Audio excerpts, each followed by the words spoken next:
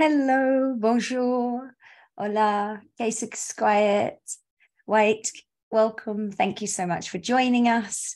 Uh, just as we let this waterfall of, of people joining us this evening, you just listen to the rain and the bird song. Maybe take a couple of seconds to look out of the window or take some deep breaths before we dive into this fantastic learning opportunity over 100 people. Welcome, welcome, welcome. I wish I could see all of your smiling faces, but um, we're so grateful that you've joined us today. So I'm Jade. Uh, I'm part of the team at the Outdoor Learning Store. Uh, with a North American uh, charitable sort of social enterprise that's dedicated to bringing outdoor learning equipment, tools, and resources uh, to you. Um, we work closely with Take Me Outside, who are our uh, partner in delivering this workshop. I join you today from the traditional unceded territories of the Sinixt, the bull trout people, um, nestled between the Columbia and uh, in the Columbia Mountains between the Selkirks and the Monashees. And this place is special. It's called Skiken, um, where the ridge lines meet the water, uh, and it's a very special place. It's also cherished and loved and travelled upon and hunted upon by the Secwepemc, Okanagan Syilx, and Ktunaxa First Nations. And so I am deeply grat- uh, grateful for all of their work and support uh, for our planet this now and forever. Uh, so I'm just going to share my um, slideshow with you and welcome you to the next in uh, the spring virtual workshop series. Uh, today is um, the 16th of May, and we're doing resources for World Oceans Day. So we know when we're talking about land-based learning or outdoor learning, the Indigenous perspectives are at the heart. And so we are incredibly um, dedicated to this work. And so through that, we've developed, um, alongside our Indigenous advisors, um, a four seasons of learning uh, journey. It's a course based um, on really diving deep into truth and reconciliation because it's not just enough to do a day. It's not just enough to focus on for Indigenous History Month in June, but to to really commit seasonally across the year. Um, and so there are online modules that will be a mixture of activities, outdoor sessions for you to do independently, video, audio, uh, and some text online, short and sweet, but very powerful. And then 10 incredible live workshops featuring each of these phenomenal uh, Indigenous voices sharing a different perspective about what truth and reconciliation means to them and sharing that journey with you. Uh, this runs will run from October 2023 this year until June. So it's kind of the school year, give you September to get situated.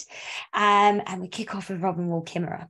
Um, if you haven't done any of our trainings, you can do what we're calling season one, uh, which is the sort of modules from reconciliation education that really talk to the Truth and Reconciliation Commission work. Uh, they're short online modules. Uh, and again, right now we're going through some fantastic live workshops uh, with Indigenous knowledge keepers. So please um, we encourage you to sign up. Go to outdoorlearningstore.com slash four seasons of learning um, or just onto our homepage and you'll find it there under the professional learning tab. Uh, we would love to see you there.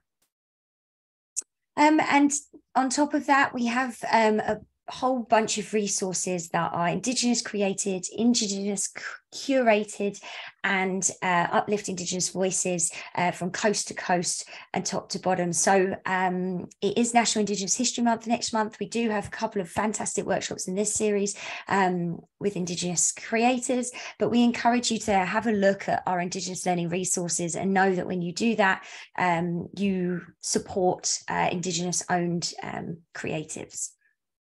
Just a real quick mention of our international partners. We couldn't do this. It takes a village. These are people with fantastic resources. If you go to our website on our partners and supporters page, these are our US partners, and Canadian, you'll find resources, opportunities to connect for workshops, other professional development, um, research. It's all there, and we really hope that you'll enjoy it. And today we're talking uh, about water and ocean resources, particularly in advance of World Oceans Day on June 6th. So, water rangers are here to talk about fantastic things. Um, and of course, the full team. So, I'm going to stop my share. And also, I've been letting the music play, let the birds sing, hey, in the background there. Um, And so this is Resources for World Oceans Day. Um, speaking first, um, we'll have the fantastic uh, Maxine Koski, who's joining us from um, Project WET. Now, uh, Maxine is the National Education Coordinator for Project WET Canada, retired teacher with over 35 years of experience teaching students for kindergarten to grade 12. Um, during this time, she was instrumental in, in coordinating inclusive outdoor and environmental education experiences for students. Um, an inquiry based approach and using Project WET activities has been fundamental in her education programs and to help promote environmental knowledge and stewardship. Um, so welcome, Maxine. Um, after Maxine, we'll have Laura Gilbert. Laura Gilbert is the Community and Operations Manager for Water Rangers. She's got a background in environmental engineering, integrated water resource management, and is finishing up her PhD in water ethics at McGill University. Water Rangers' mission is to empower communities with the tools to understand and care for local waterways. Uh, and at Water Rangers, she helps run their education programs and supports their community of water testers, of which we hope perhaps you will become one too. And last but most certainly not least, joining us from the fantastic ocean is Daphne Austin. Um, Daphne uh, works with OceanWise and um, she's the online specialist uh, for learning and ocean literacy. Through online engagement, she helps others connect with the ocean through live programming, youth dialogues, and more. With a Bachelor's of Science uh, in a combined major of Oceanography and Biology from the, UBC, the University of British Columbia, UBC, she's worked to communicate environmental awareness through Patagonia, the Vancouver Aquarium, OceanWise, and more. Um, so pretty fantastic lineup for you all today. Um, that's it from me. I'm going to pass you over to the fantastic Maxine, who I was so grateful uh, to meet in person for the first time after we were working virtually at the National Outdoor Learning Conference that happened last week.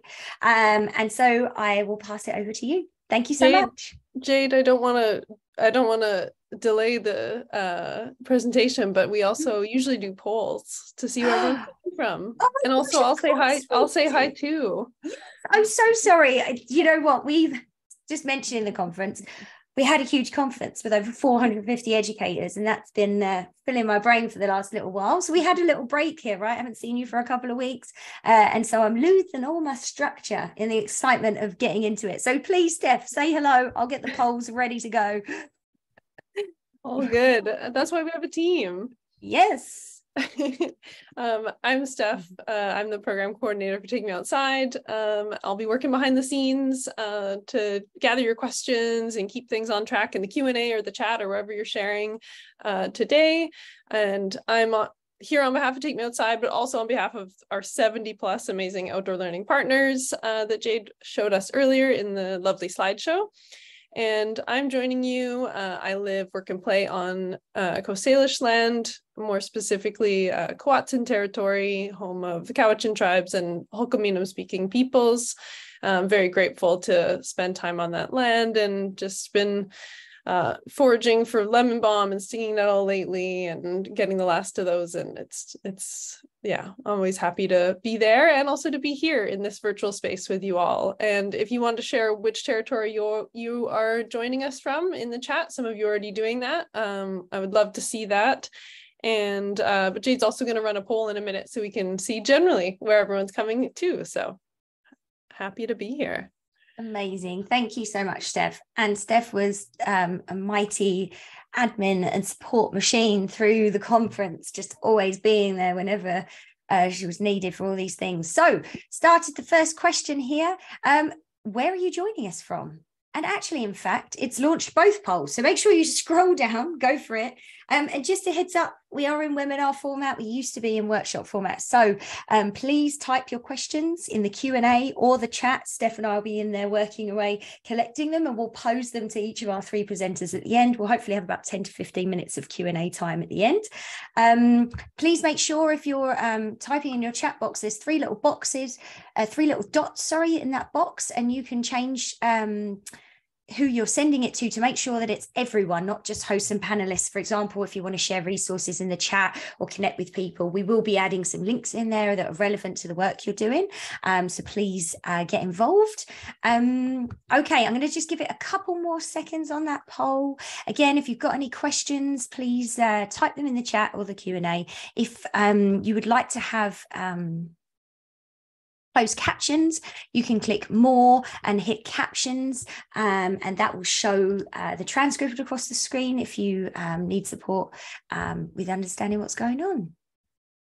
Okay, I'm going to end the poll in five, four, three, two, one. Here we go, and let's share those results. Okay, so nobody from Antarctica yet to see one. I believe one day it will happen. Um, but look, it's Canada and the US, it's Turtle Island. I'm so grateful uh, that you're joining us from across there. Um, and who are we? We've got formal educators from every grade. Early childhood educators are, are, showing out in force tonight. Forest or admin, informal parents, and none of the above, but just passionate people. Thank you for your passion. Each and every one of you is important. Each and every one of you will build those connections and relationships that shape the lives uh, of the world and of our future decision makers. So I'm very excited to have you here. Thank you for making sure we got all the relevant information, Steph. And I gracefully, averagely gracefully, not massively gracefully, pass it over to you, Maxine. Thank you so much. Thank you, Jade. I'm just going to get my screen ready to share.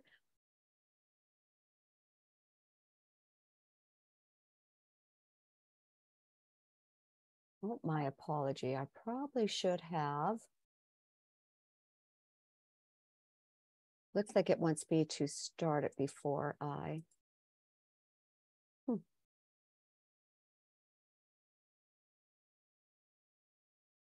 My apology. I do want to acknowledge that I am um, in Regina, Saskatchewan on Treaty 4 territory.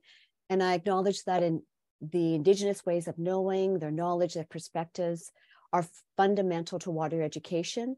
And I am on my journey to learn and understand.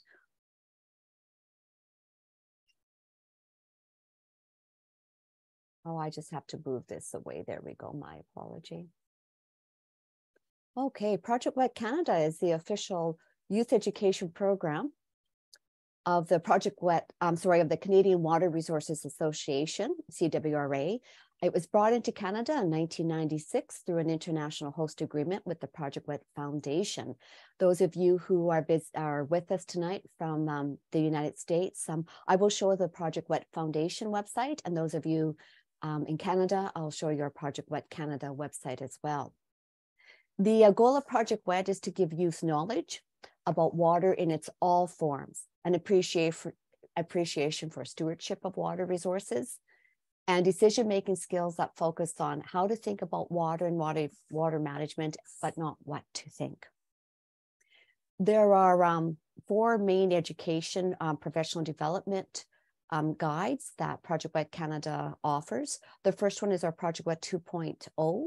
It's um, anywhere between a four and six hour workshop, depending on whether it's virtually, whether you have homework, you do um, some of your own um, work at home.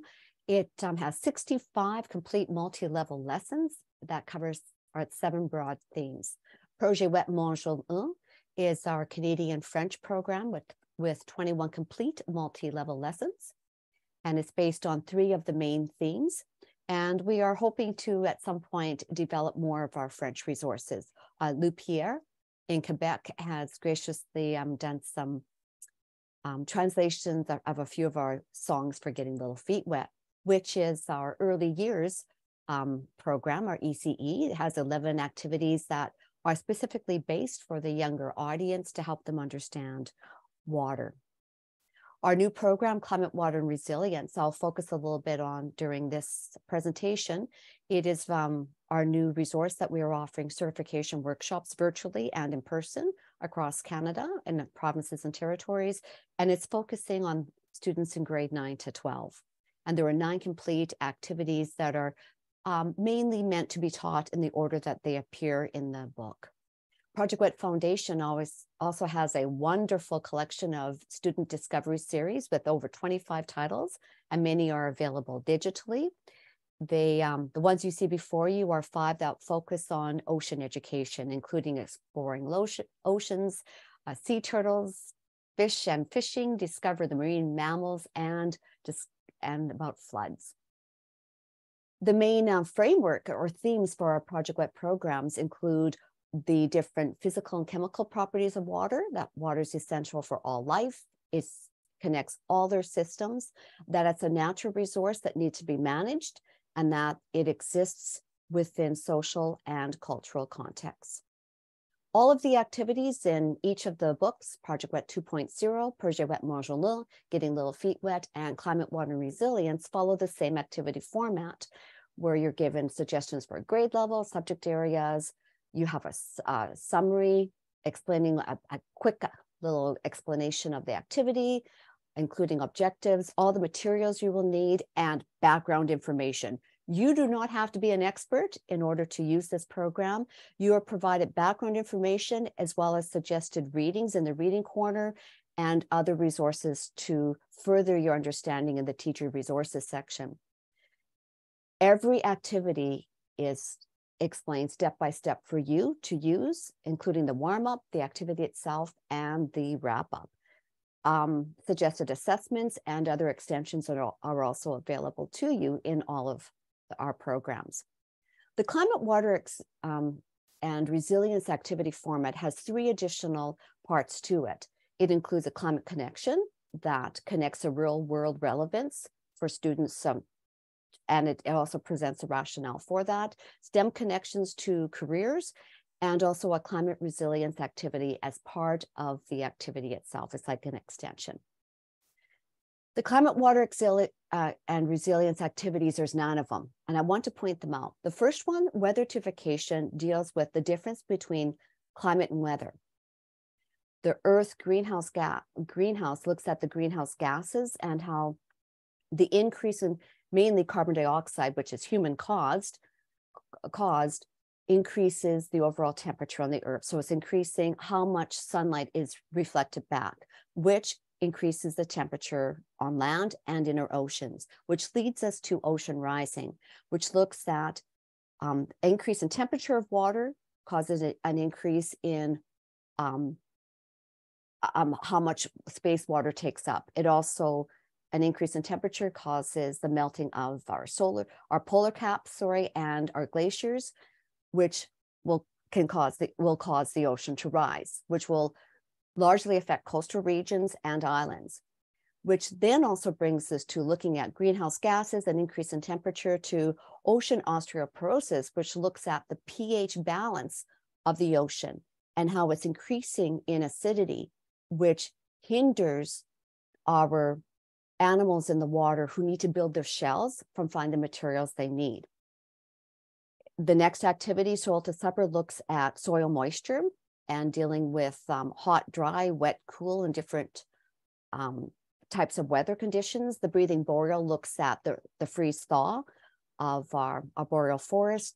Climate invaders looks at invasive species, plants and animals within our water systems. And we have some activities in 2.0 that also looks at the different layers of the ocean. Water for all water users looks at all types of ways that water is used and that needs to be accessible and available to all water users, plus our plants and animals. And then the water and diseases. I wanted to point these out because this program, we do offer certification virtually, and we also offer it in person. Um, we will have one coming up. So those people who are interested can always send me an email and I can make sure that you are part of that. These certification programs right now are offered free through our partnership and memorandum of understanding with the Canadian Meteorological and Oceanographic Society, CMOS, through their Canadian, their Environment Canada Climate Change, their ECCC grant. So keep that in mind. I'm going to just stop sharing here. I want to take you to our websites real quick to show you that um, when we talk about resources for teacher, as a, as a teacher myself, I it was important for me to know how a resource will help me meet my the outcomes and indicators of my curriculum. On the top um, right hand corner, you'll see FR for French. We do have um, most of our information also available in French, in French for immersion and Francophone people. We have an introduction to our program, an overview of our guides. And then here is where on our interactive map, if you hover your mouse over, you will find your local coordinator. For example, I'm in Saskatchewan, Leah Jepp is our coordinator. She's with Sask Outdoors, and she runs all of our Project WET certification programs in Saskatchewan. Leah also, offers virtual training that is available to everybody across Canada and also in the United States if your coordinating body will allow you to. In BC, we have Carrie Morton, who is with the Habitat Conservation Trust Foundation. So we have some independent organizations, but we also have different government agencies that run our program. We are, if we don't have a coordinator for your area, I would be, as a national coordinator, the person you would contact. We have wonderful sponsorship and funding from um, with a promo science grant in previous years that have uh, allowed us to purchase manuals so that we can provide free certification for an Indigenous educators and people of Indigenous students, and also our CMOS to provide our climate, and resilience workshops and some of our 2.0 for free. If you need my email address, all you have to do is click on my name there. I would like to show you that if you go to our resources page, you will find our curriculum connections. On the English side, you will find curricular connections to most science curriculums for Project WET 2.0, are getting little feet wet, and our climate, water, and resilience. Um, some of them are in one document. So, um, you can see we're still working on updating and improving and always renewing. If it's an old outdated curriculum, quite often we will um, have to remove the cross-reference and we hire certified teachers who are certified in our program to do our curricular cross-references there. If you scroll towards the bottom of the page, you'll find Canadian backgrounders and student sheets um, for Project WET 2.0, other Canadian supplementary resources. And then we um, have some a, docu- a couple documents that um, summarize how to use Project WET 2.0 to teach climate resilience, as well as um, physical distancing, especially during COVID and winter activities, promotional vi- videos, and then some music by Dr. Don Waite. And I think many of you know Remy Rodden. He was at the outdoor conference, and Remy also has some beautiful um, English and French and bilingual songs. I just have to move my little screen here. Next, I want to show you is the Project WET Foundation website. The Project WET Foundation website at the top, you will see the store. That's where you can um, find some resources to purchase. I want to show you their education resource section here.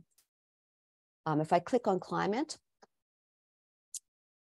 um, until you're able to take a climate water resilience certification workshop, there is this free um, download for a lesson plan using Project WET to teach climate resilience. It has, um, instead of soil to supper, it has dirt to dinner. An excellent, it's uh, similar to the activity in climate water resilience. Um, and it also has the um, breathing boreal. So those two activities, which you won't find in any of our other manuals, you can find for free in this particular document. I'm going to scroll up and go back to the education resources, and I'm going to click on click on e-learning. E-learning, the discoverwater.org is an excellent resource for um, early years, elementary and middle year students. It's interactive. Um, it, um, as it says here, it, it's, it's just an excellent resource. I've used it in most of my classes. And I don't know if I'm over my time or not. I'm going to stop sharing here. I know that was a really quick quick little overview. I'm always available to answer questions um, through emails and and different ways. Um, and just that we offer its professional certification programs. Okay, I'm going to stop there, Jade. That's fantastic, Maxine. Thanks for packing in so much to such a short time. And yes, people, if you want to use the reactions buttons to show Maxine that you enjoyed it, please feel free. Um, yes, incredible resources, incredible program, so engaging, so hands on to learn about water. So thank you so much. Without much further ado, I shall pass it to the fantastic Laura Gilbert. Thank you so much, Jade, and thank you, Maxine, for that. Um, so I'm Laura from Water Rangers, and I'm coming to you today from the traditional territory of the Haudenosaunee and Anishinaabe people on the island of Montreal. Um, and I'm excited today to talk to you about Water Rangers. So you'll see some links circulating already about our program, but everything I will talk about, I will send the link right after my presentation. Um, so you don't have to worry about that. I'll send them right away and I know they'll be sent to you in an email as well. Um, so Water Rangers were really a, a community-based water monitoring um, group. So what that means, community-based water monitoring, you may have heard of citizen science. So it's a little bit similar, but it's more of a bottom-up approach. So we help support groups like lake associations, education groups, classes, um, camps, really anyone that wants to get involved in water quality monitoring. Um, and we have two different tools to help them do that. Um, so one of them is these education kits that we have on the outdoor learning store. And I know there will be one up um, as a prize at the end of the presentation. So you have to wait around for that. Um, and we also have an open data platform where everyone can share the data. So these two tools can be used separately and the open data platform is completely free.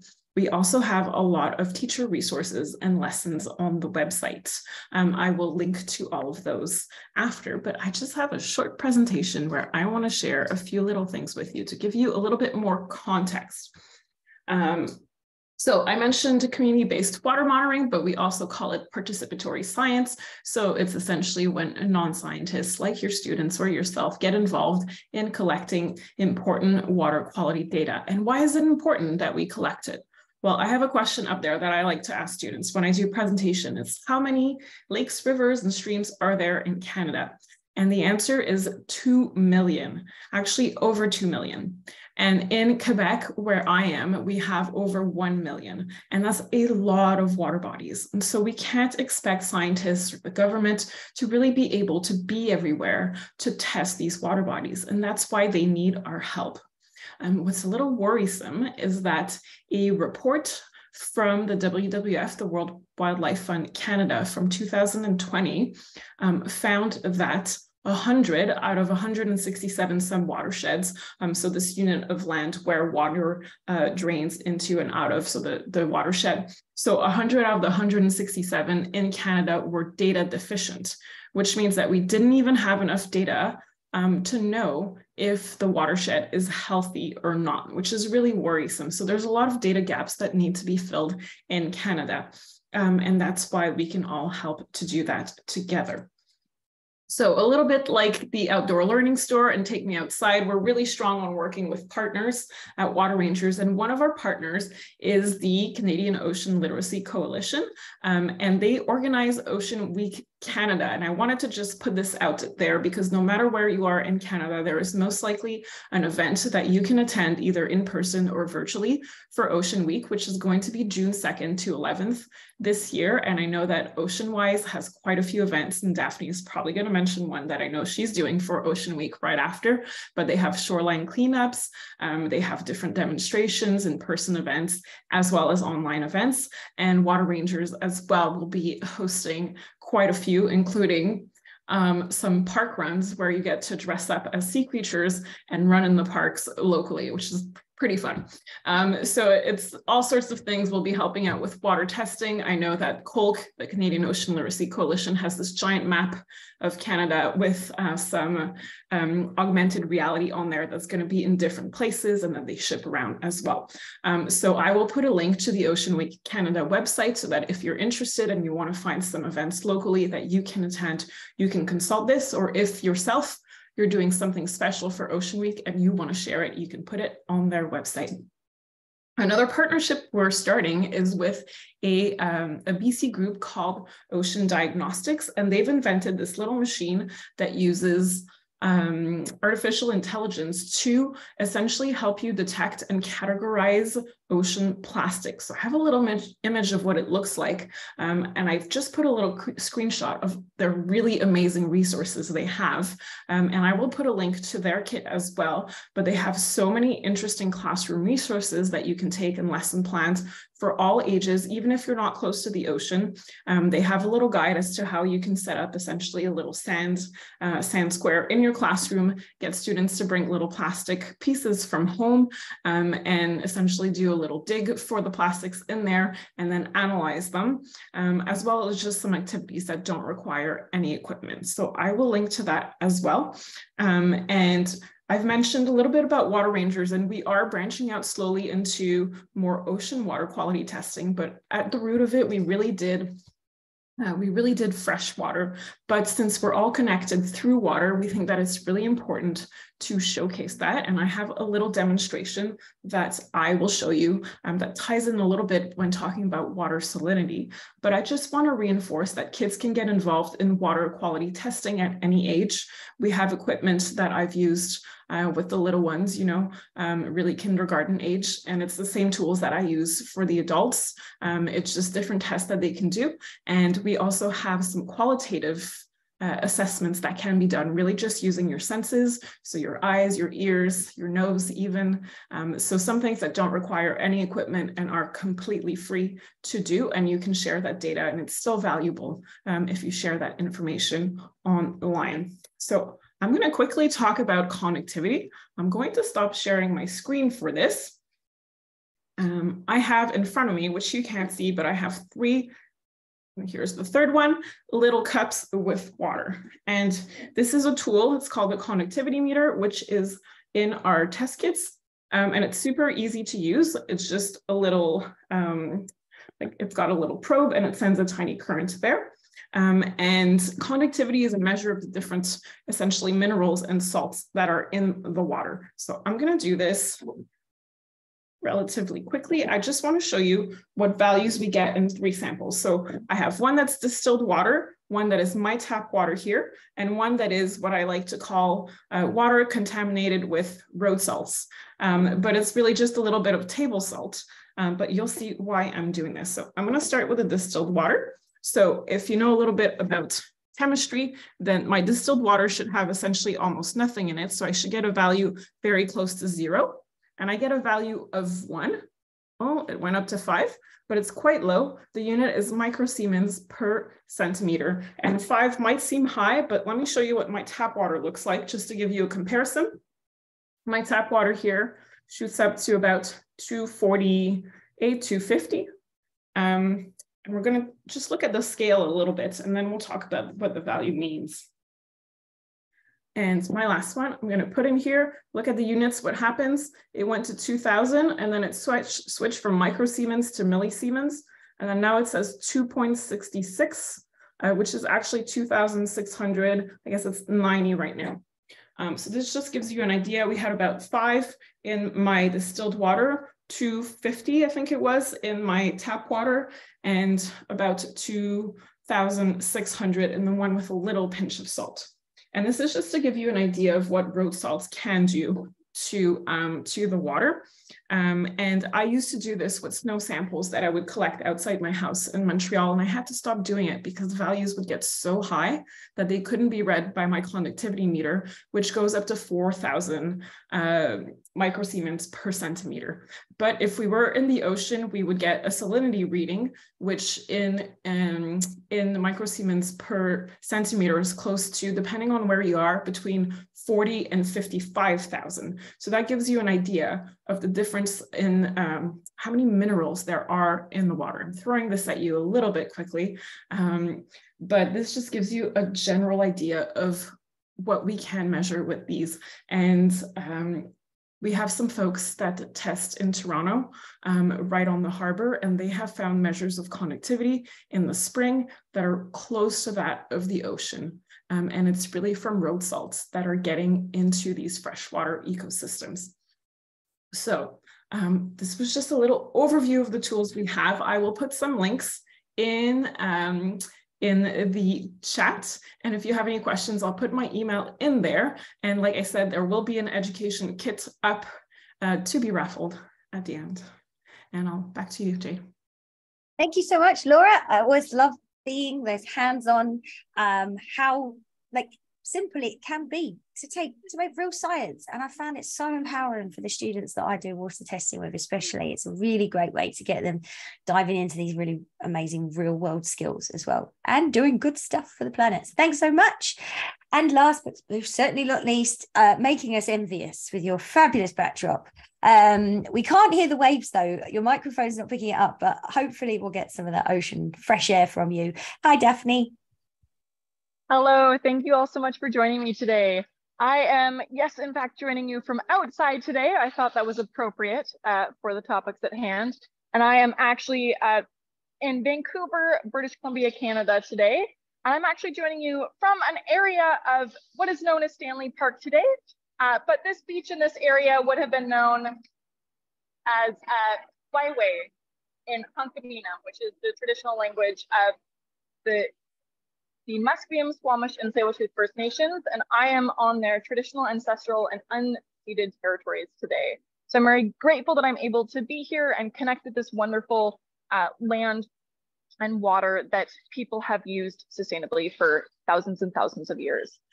But because we're at the ocean, I wanted to talk a little bit about what OceanWise does. And if you aren't familiar with OceanWise, we are a nonprofit organization who is all about uh, empowering individuals and communities to take action to protect and restore the world's oceans.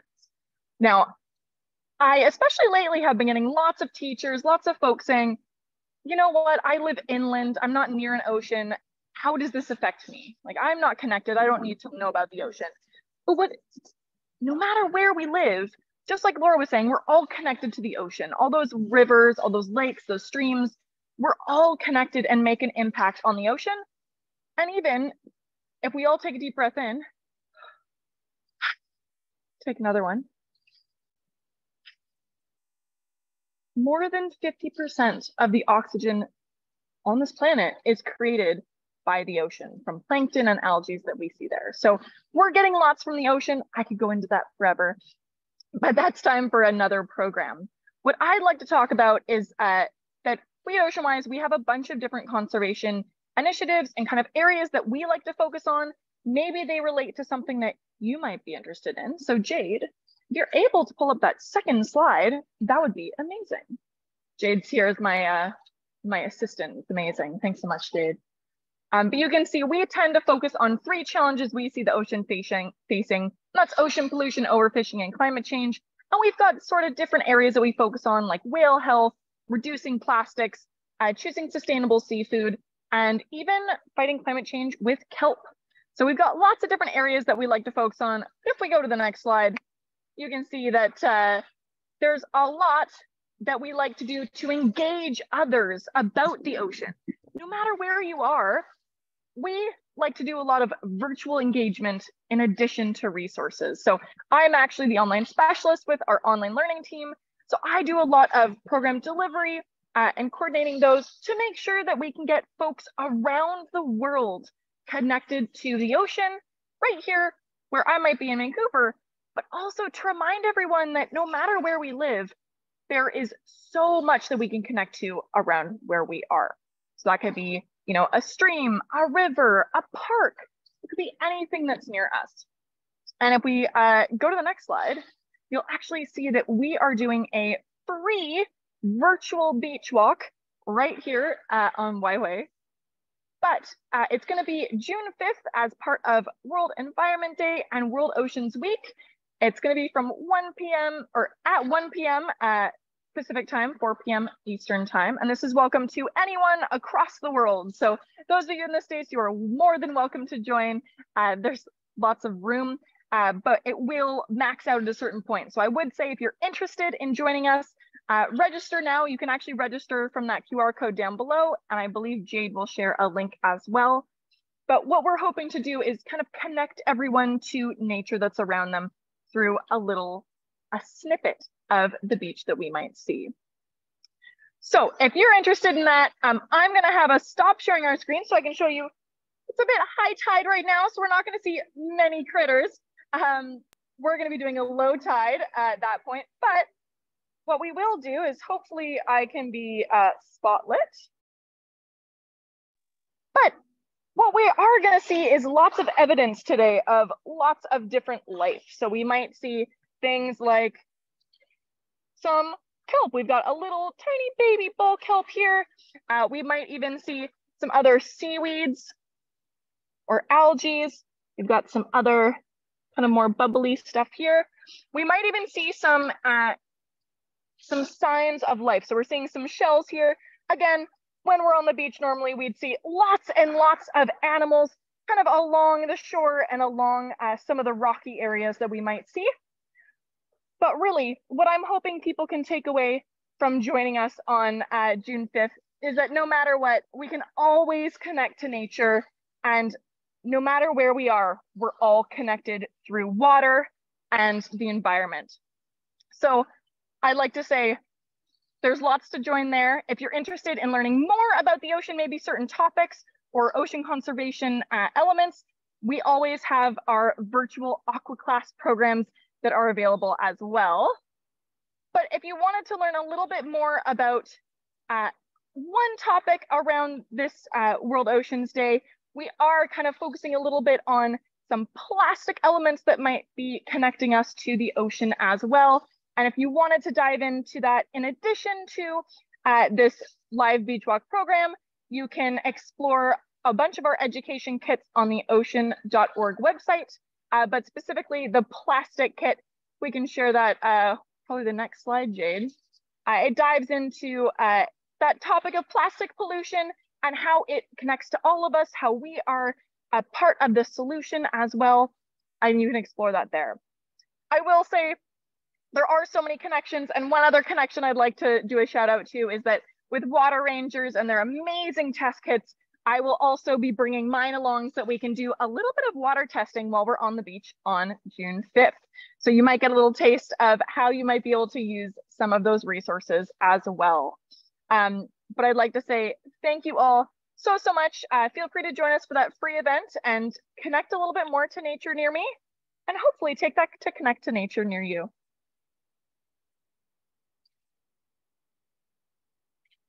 Thanks so much for sharing, Jade. Thank you so much. Um, ooh, which ocean animal are you? Take the quiz here. I'm going to leave that up for just a second in case anyone wants to scan it with their uh, phone camera app. Um, I think um, I'd like to think dolphin, but I imagine more like seahorse because you know size and and that sort of thing. The majesty of the dolphin is yet to elude me. Okay, well, I'm gonna. You, you, know what? You can't forget about all the animals that don't have backbones too. Invertebrate fan myself, so who knows? Maybe there's some other creatures in that option. How oh, amazing! See, thank you so much for sharing, and it's so wonderful to be able to offer things virtually because we know a lot of us i live six hours inland from the ocean it's it's hard sometimes for um, people to feel connected to the ocean. But of course all of our hydrological water system is interconnected and what impacts us flows downstream uh, and impacts other people and what comes into our rain it's all a part of something. So it's really amazing to um, connect with people. Okay, I'm going to share that QR code for just one more minute.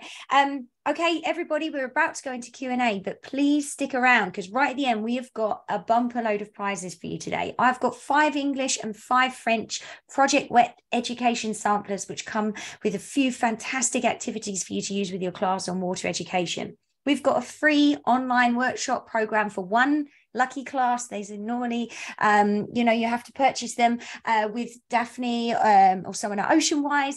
And Laura Gilbert is giving up a fantastic water education kit uh, with some of those tools that shed before. So please, and we've got a gift card to the outdoor learning store and a gift card to the Take Me Outside store as well, just to top it up. So please, please stay around. Okay, for now, um, I'm just going to pull up the questions that um, Steph has been working hard to collate in the background. Thank you so much for sharing. If you are keen to ask questions, uh, please pop them in the um, Q&A. Angie's a jellyfish. Hi, jellyfish. Um, stingray, jellyfish. How fantastic. Share, share your, share your ocean animal. Oh, how wonderful. What a nice feeling. Okay, so here we go. Um, just to let you know, of course, we do have more uh, workshops coming up before we get to this. Um, oh no, let's Q and A first. Sorry, I'm getting ahead of myself. Deep breath in. Feel the waves. Okay, Christine asked if we're in the US, this one's for you, Maxine. Can we still participate in virtual workshops and trainings with Project WET? And do you know if it's easy to have them approved by US school boards for certification hours? Thank you, Jade. Um, I will have to talk to your uh, national coordinator, Julia, to find out for sure, Julia Beck. But I did put in the chat the link to um, how you can access um, in the United States a workshop within your area. And there you should be able to also um, either email Julia or one of the other um, coordinators for more information. I don't know that answer for sure, but um, I can also send her an email tomorrow to find out whether, you know, that is an option for you. Mm-hmm. And I do feel like there is a Project WET US site, right? So uh, it's a know. Project WET Foundation. It was the one that I Project WET Foundation is the um, the American website, and the Project WET Foundation is our mother organization. Project WET Canada has an international host agreement underneath them. Okay, yeah. so it sounds like your option, mm-hmm. uh, your possibilities are looking good. Mm-hmm. Okay, Meredith's got a question for Laura. Meredith was asking a little bit more specifically how does that high level of conductivity impact uh, life in freshwater ecosystems? Well, it's a very good question. Well, essentially, the freshwater fish and ecosystems in general are used to a certain level of salinity. And so, if you increase that, it can have all sorts of bad health effects. A little bit like us, if suddenly we started drinking only salt water, uh, there'd be some really bad impacts. So, I know for fish, um, Daphne, you may know a little bit about this as well, um, because I'm not the expert on necessarily what happens, but I know like if I'm thinking of sharks, it um, it means that they essentially like start swelling. They retain water a lot more. Um, so kind of like us, if we uh, start eating a lot of salt, there's a lot more water retention that happens, and over time that can be quite bad for the aquatic life. Um, hope that answers your question. I think that uh, made a lot of sense. So thank you so much. Um, really, really powerful. Um, being able to link science that you can do and really connecting it to biodiversity and ecosystem health. So thank you so much. Okay, Carol, this question is for you, Daphne. Um, Carol's in your neck of the woods or your neck of the ocean, I suppose. Uh, Carol's going to be running grade two, three camps this summer themed around climate action. Go, Carol. That's how we like to see our youth camps run. Fantastic. Um, Carol is in North Van at Shipyards. I'm imagining that might mean something more to somebody who lives close by. Uh, Carol's asking, is there something they can do with Ocean Wise on their ocean day? Virtual is fine, but outdoors would be even better. Do you have some options? I would say I'm not sure if there's one scheduled quite yet, but I imagine there will be some uh, shoreline cleanups, Oceanwise shoreline cleanups you can participate in. Uh, even if it's not run by Oceanwise, I'm sure there's lots of organizations and people that will be running uh, public shoreline cleanups. You could also do one uh, with the kiddies as well, you know, making sure that there's uh, protective equipment, you know, uh, little picker uppers or something like that. But it's a great way to, especially with the Oceanwise shoreline cleanup, you actually track what you're picking up. So you might be able to have some um, some of those folks actually recording and kind of seeing what you're seeing a lot of in that area. And I think that data is really useful and trying to find ways that with, you know, concluding or having discussions afterwards, you can think about how maybe they or their families can start to reduce some of those plastics they saw on their cleanup in their own lives. So lots of connections to be made. Uh, but yeah, I would check the ocean.org um, actually has an events page now as well that you can search for, and that will have any of those pop up on there as well. Great question. Amazing. I'm going to stay with you, Daphne. Jody's asking, how long would the virtual beach walk be, that online workshop? Great question. Uh, it'll probably be around 45 minutes to an hour, depending on questions, but uh, I imagine closer to an hour. Amazing. Daphne, um, I don't have my phone to hand. Is there a link that we can share for the um, animal quiz that's not from a QR code? People are into it, and I can't get to it with a Google search. I need you. I, I, uh, maybe I can work on that. We'll see. Uh, okay. But uh, yeah, because I'm not by a computer, a little harder. Yeah, yeah. Um, it, I don't know if Heidi's just managed to make that happen. If you have, I haven't clicked on it. Yes. See this This is community, everyone. And I, I sort of say these things flippantly, but like the hundreds of people who are here um, sharing in the chat, supporting each other with resources, ideas, like this is what it's about. This is the best place on earth to work. This you are the best people to connect with. I'm so grateful. This is amazing. Okay, um, I'm going to open this up. This question's from Hanif. Uh, I'll open it up to anyone who wants to th- answer it. Can we use oceans as carbon sinks? Well, there's a couple here. Could we grow veggies on the ocean floor for human consumption, uh, like an underwater greenhouse? Anyone want to jump in? Go, Daphne. I'll, I'll jump in. Um, I will say yes. Uh, one of the biggest ocean sinks that I think is really amazing is whales. If you think of a whale, they are massive, massive animals. They hold lots of carbon in their bodies. Uh, and actually, when they pass away, they sometimes will float into shore, but most of the time, they'll actually sink to the bottom of the ocean. And that's actually a huge way to have a sink of carbon go down to the deep sea. Um, and that's actually a great way to fight climate change. So something as simple as supporting whales can be a great way to kind of take carbon out of the atmosphere. But also we at Oceanwise are doing a lot of deforestation, which is around, uh, you know, kind of growing and reforesting kelp uh, plant, you know, planting it either in ecosystems or even just farming it to, again, have carbon that goes into that uh, really, really fast growing life and then actually maybe even sequestering or taking some of that and burying it in the ocean to kind of keep that carbon out of there. Uh, and real quick question Does anyone know how fast kelp can grow? Jade, I don't know if you Question know for you, team. I don't know how fast it is. Anyone in the um Rebecca saying three feet a day? It is about that. So around a meter or three feet a day in the summer. So like right now, that kelp is growing fast. So that means it's a really easy way to, you know, grow lots of carbon really quickly and maybe sequester it and help also great um, ocean acidity buffer and many other things, including supporting biodiversity. So lots of great examples. It's amazing. I always think, forget about the underwater photosynthesizers. You know, they do phenomenal work under there too. And that's where plants really came do. from, right? Out of the ocean and sort of managed to cultivate on land. Very cool. Um, so many stingrays, jellyfishes, turtles. Welcome to the ocean party, everybody. I want to do mine, but I'm too busy doing this, but I'll do it afterwards. I definitely think seahorses are going to come up, even if that's not an option. Okay, uh, Christina's harvesting their kelp in Alaska right now. How cool. That's how you know about kelp. Excellent. Okay, I digress. Here we go. Dorothy's asking Do we know um, if there are any medicine plants that exist in the ocean? And Dorothy's saying that specifically assist with pollution. So you were saying kind of filtration through sea kelp there, Daphne, Laura, or Maxine. Do you have any more um, things to share about how um, sort of plants or other things in the ocean sort of filter out pollution? Or do we just let Daphne roll on? she is right there. Go for it, Daphne. Do you know of any other parts of the like how does the ocean sort of help pollution? So I would say that some um, some of the you know algae and photosynthesizing plants may take some of that up into their body.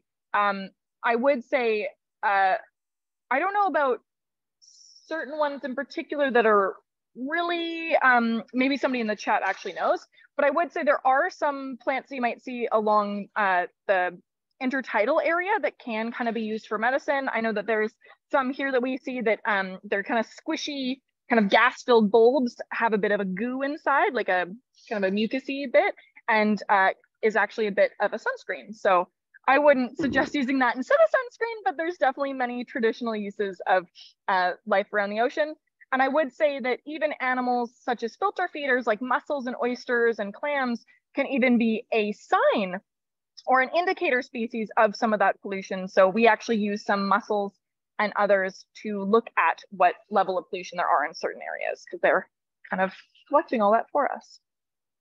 Amazing. Thank you so much for sharing. And Christine, I feel like we, we need to make sure you get a prize just for all your sharing, but about horseshoe crab blood, which is used for vaccines and it's used for lots of other um, pharmaceutical development, right? Because it has these oh, yeah. incredible capacity for um, for healing, which is really amazing. Okay, um, we're running out of time, and um, that's it for the questions here. But again, I believe Daphne and Laura and Maxine shared their email in the chat.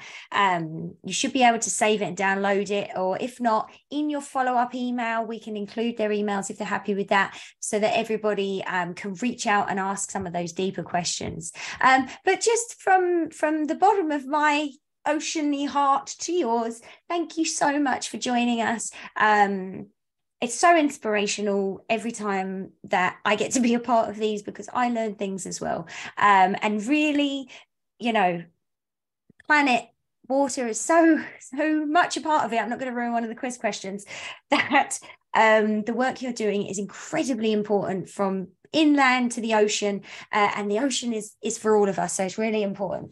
So Lim Lim, uh, Cooks Jam, thank you so much. Lovely chat things coming. Okay, don't leave. Prizes are coming.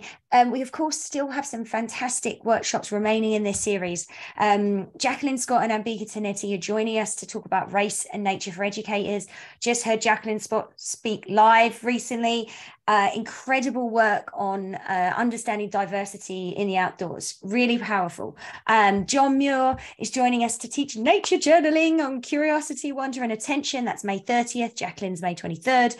June 6th, we've got Elder Albert Marshall and Louise Zimanyi talking about walking together, reconnecting to nature through two eyed seeing, Western and Indigenous perspectives coming together. And our final one in the series um, with a couple of fantastic uh, Kootenay educators uh, and publisher Quilton Robert Goldsmith from Strong Nations, the Indigenous Publishing House, animating outdoor learning using finger puppets. That's June 13th. Uh, and so prizes. Okay, everyone, before you type in the chat, you know, if you've been here before, you know how it works. Answers are going in the chat. It might take us a little bit of time because of the generosity um, of, of our uh, presenters today. We've got a few prizes. Um, but for the first two questions, I have an English question and a French question and I've got five English um, Project Wet samplers. These are like sort of a bite-sized uh, Project Wet activities book, and um, five French as well. And they, yes, it's type in the chat. So I really need you to click your three dots and change your thing uh, to everyone so everyone can see because sometimes people might say hey i was first but you only sent it to the presenters so other people didn't see it so steph is in charge steph's word is law in this in this situation she's she's checking okay thank you thumbs up whoever sent that um, if you are one of the prize winners, you need to send your name and email in the chat, and you can do that in a private message by clicking on Steph's name. It'll go red and say direct message, uh, or emailing Steph and um, saying whether you want it in. Um, actually, we'll get to that when we get there. Okay, let's just. Whoa, I'm too excited. Here we go.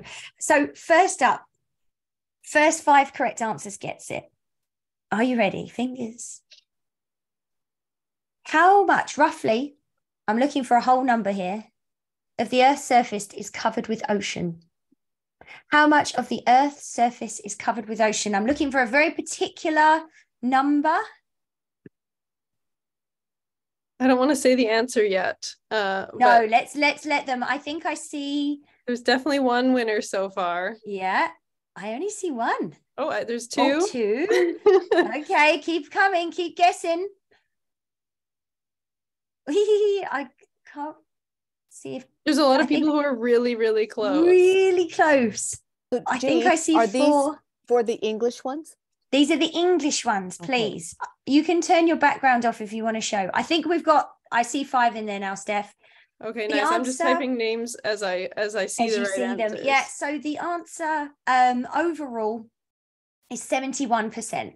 So really, it's so much for all of us. Look at that shiny book. It's really fantastic. And these activities will have your class in raptures.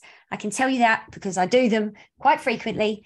Um, really amazing, uh, hands on, um, visualizing uh, data in a way that really, really connects. Um, okay, thank you so much. I think we've Should got all of those. Should I Yes, announce the five please. winners then? Mhm. Um, so the first five that, and remember, some might have come through hosts and panelists. Uh, if you were following along, uh, Allison Barton, um, Kawalajit Kaur, Victoria Sobi, Becky Masters, and Lorena Correa y Silva. are the first five. Hooray! Congratulations. Um, yeah, connect with um, Steph with your email, and then Maxine will do some posting of generosity. Thank you so much. Okay. Um, euh, en prochaine, euh, je ne sais pas. Euh, mon français est mal, mais cette question est pour les gens français. Es-tu prêt? Alors, quel est le mot français pour whale? Quel est le mot français pour whale? Mhm. Sorry, Laura. J'apprends mon français en France, donc l'accent est différent et je n'ai pas beaucoup d'occasions pour pratiquer. I don't have a lot of options to practice in British Columbia. Um, so that was about as good as it got for me. But oh, I do have one more. Sorry, I nearly, I'm really bad at the quizzes, everyone. I get too excited, like I'm participating and I'm supposed to be hosting. So I do apologize. I think we've got five, hey? Yeah. Yeah. Okay. I will announce them here. Le, I, how do you say answer? Comment tu dis answer, Laura? La réponse. Le Réponse. réponse vrai ou le, le, le réponse vrai? La réponse. Yeah. La réponse correcte est la baleine. La baleine. Baleine? OK, parfait. Merci. Je vais échanger euh, en anglais maintenant. Back to English. Thank you so much. Le baleine, the whale. Carbon sink. I've just, all I can see is it actually physically sinking to the bottom of the ocean now. Um, living its full and beautiful life, hopefully, and then holding that carbon for us. Thank you, whales. Okay. The five winners were uh, Leo Wahlberg, Beatrice Gregoire Touton, uh, Kirsten May, Camille Fivry, and Natalie Natalie Butters. I might have said the, a few. I might have said all those names wrong, honestly, but I'm sorry. Forgive me. it's difficult. It's hard pronouncing things, especially when you're reading them in the moment and haven't had a practice. So, très bien. Um, excellent.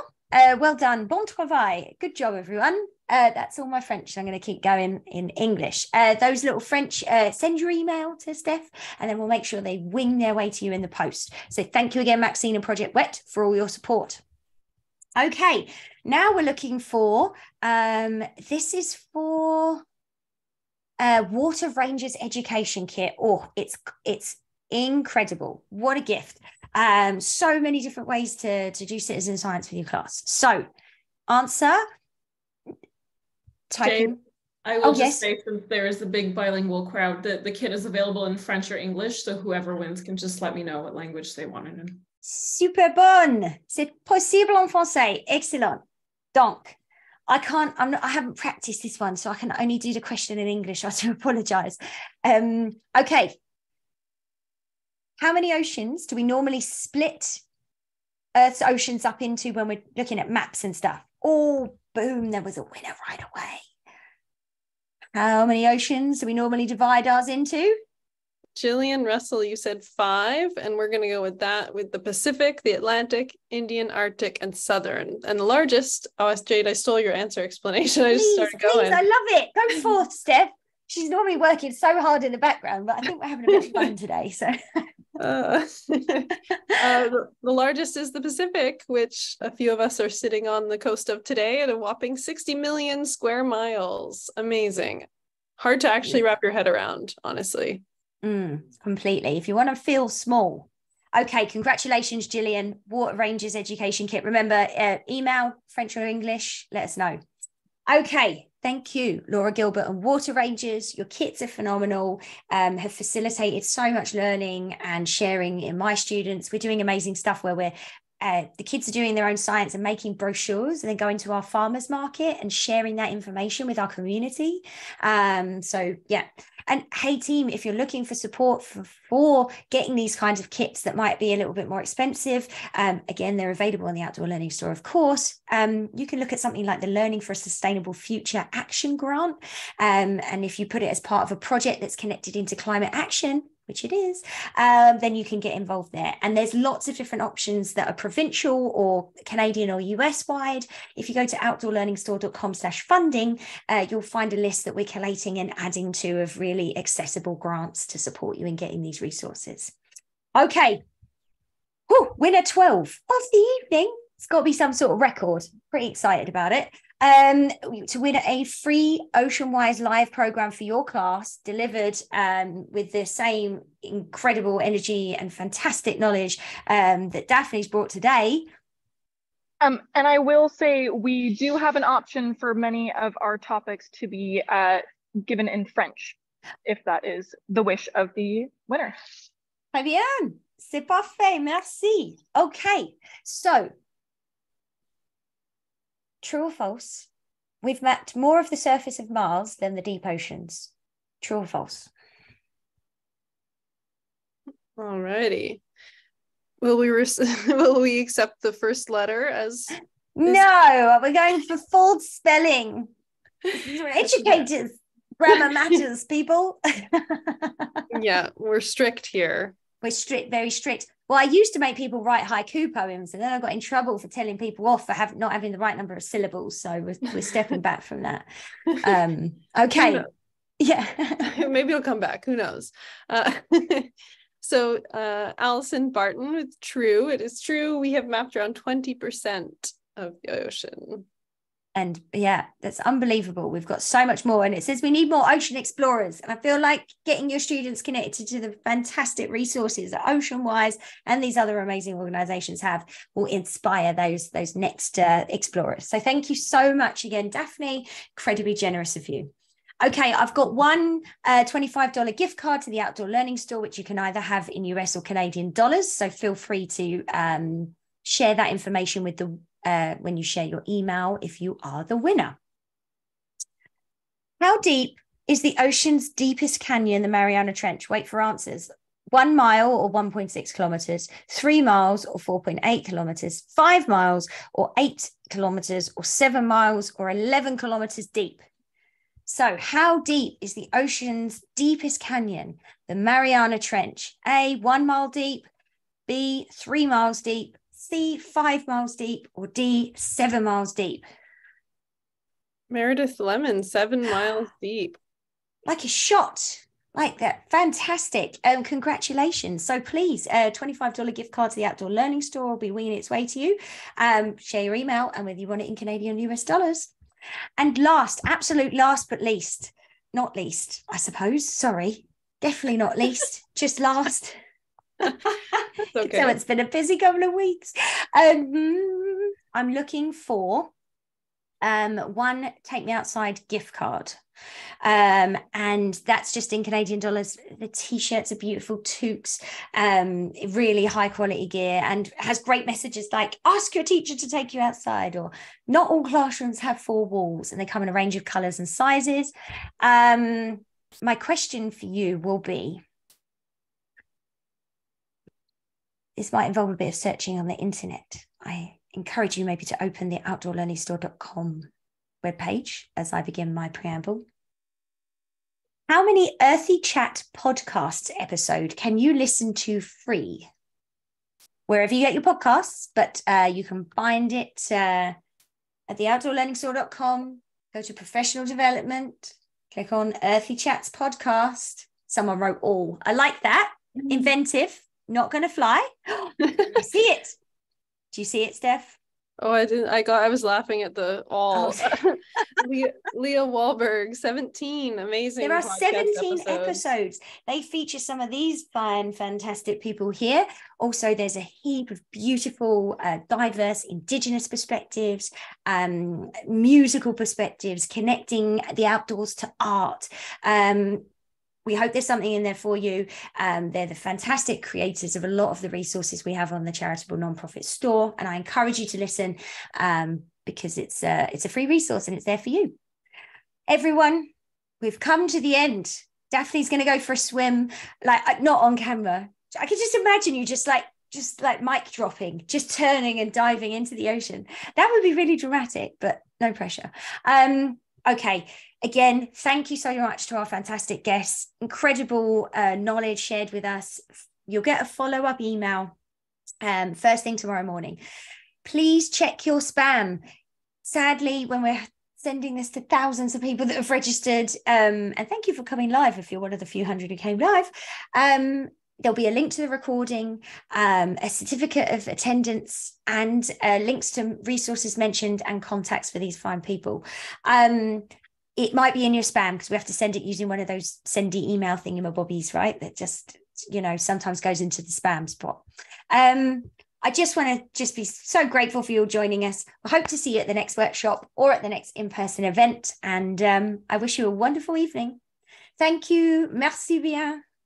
À la prochaine. Lim lim, Cooks Jam. Good evening. Goodbye.